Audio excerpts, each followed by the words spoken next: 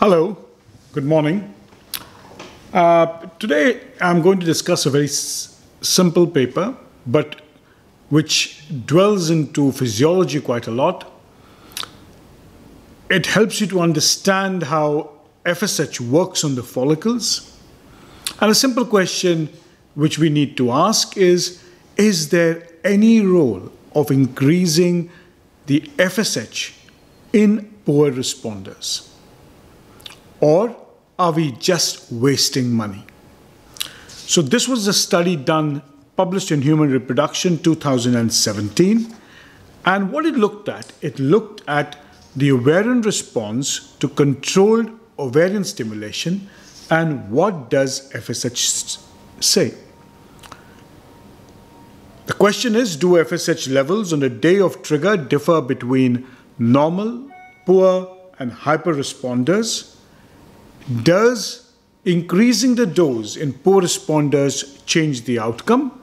And does increasing the FSH dose also give better quality oocytes? What we do know is that when you give FSH, it extends the FSH window. So you're, you're pushing the recruitment of follicles over a much longer time. Again, remember that every woman reacts differently to the hormones. Don't blame the, wo- the woman, blame the hormones. That's what I've always said. There is variation between in poor responders and hyper responders. And let's look at what the FSH levels say. And this was a study done, it's published in the CETRA trial. Less than 39 years, BMI less than 32, no more than two failed cycles, regular cycles, normal of 94 cases, poor of 16, and hyper hyperresponder 17. Blood test on day two and day of HCG trigger, a fixed dose, very important, fixed dose of FSH of 150 from day two onwards in the evening, and antagonist randomized from day two. So either you start antagonist in day two or start antagonist on day six. And what did it show? They, it showed that the FSH levels on day two was lower for hyperresponders, compared them to normal and poor responders. Also, what it told us very important is that the mean rise of FSH from day two to, to trigger in a poor responder was much smaller, which means that the FSH rise in a poor responder from the first, from the second day to the trigger was much smaller. Also, there's a very poor correlation between the number of eggs and FSH. There are very few studies which have looked at this unique concept. In normal responders, what it tells us is if you start increasing the dose, you do not make a significant difference in the number of oocytes that's come.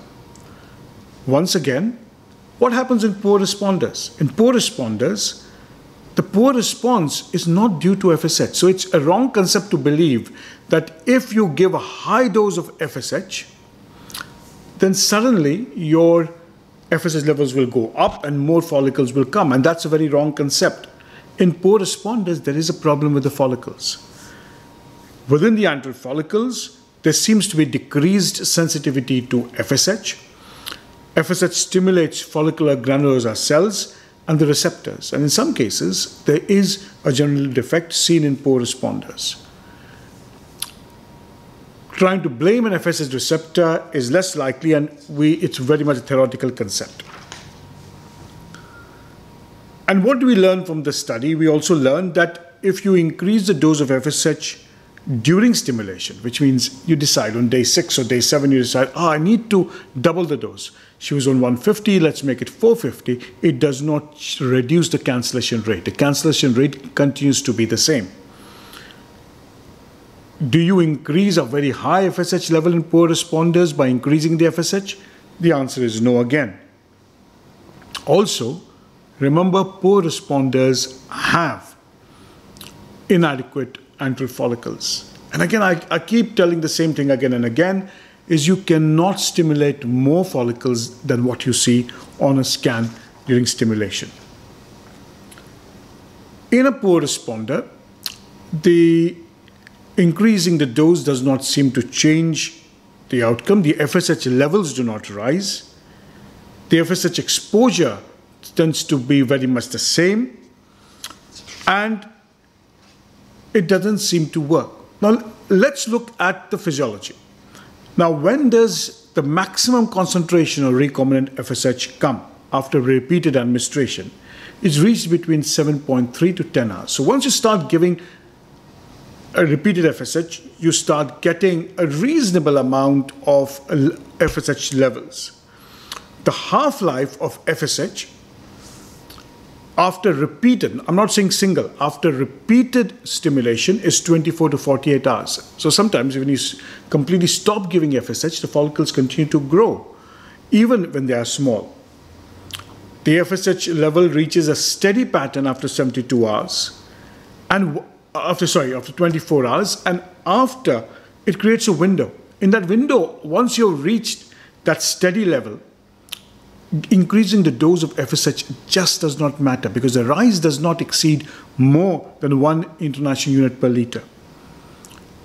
It's almost impossible to be able to move once you reach a steady level. And that is the most important biochemical thing that we learn from here. That if you decide to, once you reach that certain amount of uh, FSH, steady FSH, after which FSH levels in blood do not rise. Again, what happens if you start antagonist on day six? Theoretically, when you start an antagonist later, endogenous FSH can wait, and sometimes I use that in a poor responder. But what it told us in normal responders and in PCO is that it did not matter whether you started antagonist day 2 or day 6, the number of oocytes tend to be the same what you take back from this is that in, if you in, do not in, increase the dose in a poor responder, midway or putting them on a very high dose does not seem to work. And if any of you all come for the course, we will be talking on chasing the antral follicle. This is a new concept. It seems to work. For hyperresponders, it also tells us lower the dose. This is a very unique paper. And I think I want to change the way a lot of us think. IVF generally is simple, but I want you to start thinking of how ovaries start responding, how they work up their way under the influence of FSH, and why some follicles don't grow, why some follicles are empty. There are many questions, and that is the fascinating part of reproductive medicine, is that often many of us do not ask questions physiology answers those questions.